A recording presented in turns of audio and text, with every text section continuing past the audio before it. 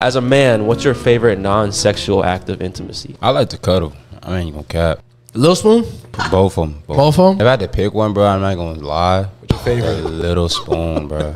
That shit's fire. That. That shit I is- say that That. No, no, no. That shit is fire. I I say don't, that shameless. bro. I don't give a f- what anybody say about me, bro. Ain't nothing like being Lil Spoon. True.